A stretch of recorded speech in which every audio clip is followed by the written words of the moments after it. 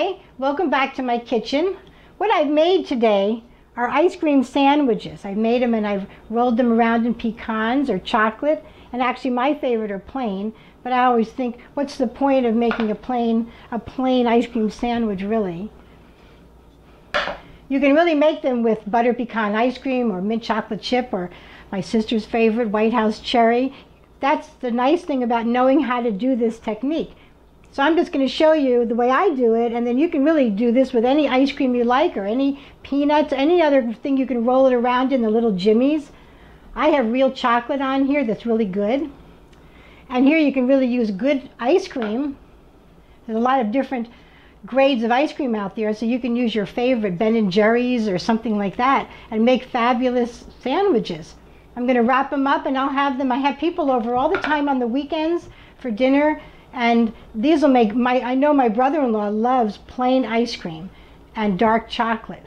So sometimes simple is best, but you can do whatever you like. So I'll be back in a moment to get started.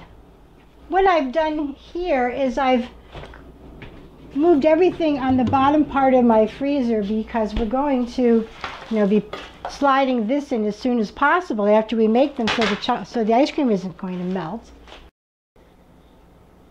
To get started making these sandwiches, I've bought these famous chocolate cookies. They're wonderful. They're very, very chocolatey and they're crunchy.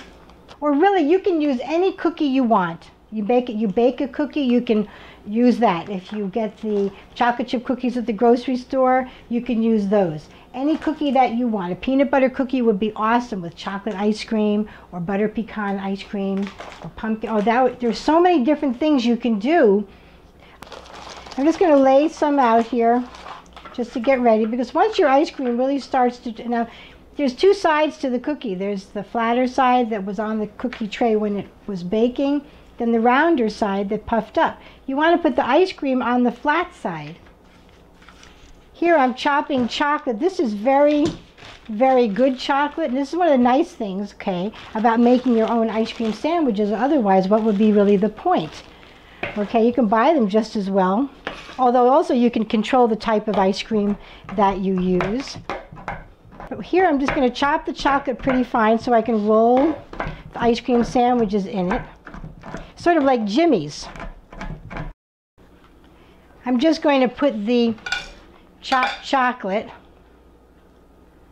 onto a plate. So now I have pecans. These are whole pecans. I use them for our turtles during the holidays. We make chocolate turtles with these beautiful pecans. They don't have to be too fine. As fine as you really want. You can stick whole pecans on the side of your ice cream sandwiches if you like. I don't think I would like that, so.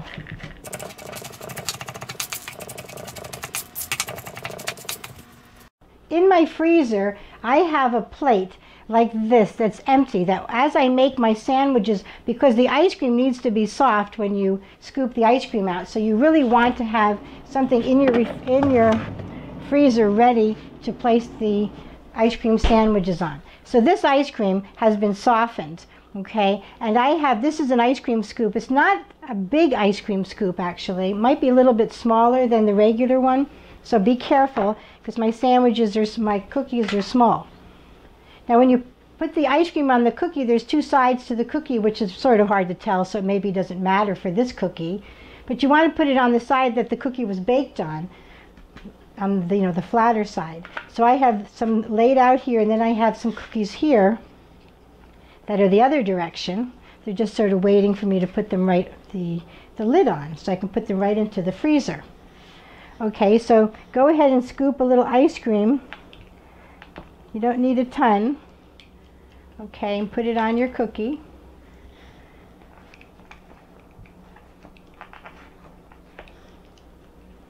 This is a nice little scoop for this. And then take another cookie and carefully press it down. So don't sort of press it down so your whole hand is on that so it doesn't break the cookie. Take your cookie, put the ice cream in it, and roll it around in your nuts or in your chocolate or peanuts, whatever you've decided. and then just take your the ice cream sandwich. You can roll it a little bit here just to press them in. And put that in the in your freezer on your plate so it gets cool.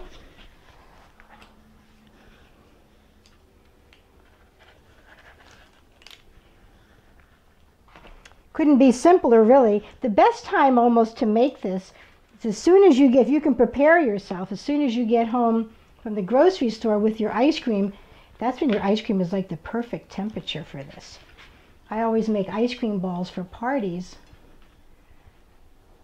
Right when I get home, you know, it's the first thing I do. I don't even put the ice cream in the freezer because my freezer is so incredibly um, cold that I, then I sort of have to wait and wonder when it's the right temperature. This works really great. So I'll go ahead and set these in the freezer. I'm going to put these all downstairs in my in my deep freeze and then I'm going to show you how I wrap them. I probably could do it now but I'm just going to show you how I'm transferring them over because sometimes they stick so if you slide a knife under them all then it'll be better. I'm going to cover this with some, some saran wrap and bring it down to my deep freeze. Let them really harden up and then I'm going to show you how I wrap them. This is wax paper. And I'm just going to cut a piece a little bit bigger than the cookie because I don't want to have too much to fold over.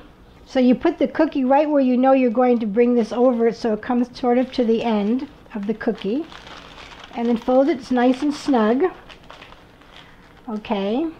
So now when you're at this point, this part is coming down, so in order to have a regular piece there, without any paper loose, just fold it here and then bring it to the edge of your table and you can you keep that down. There you go, you can have a little cookie. And I put them into, I put them all into a zippy bag. I have some already here, already done. So I'm just going to put that in there as well. The ice cream does melt. If you have good ice cream, and I'm sure that you do, the ice cream is going to melt very quickly. So you need to work around a freezer and just get everything all ready and then do it all at one time.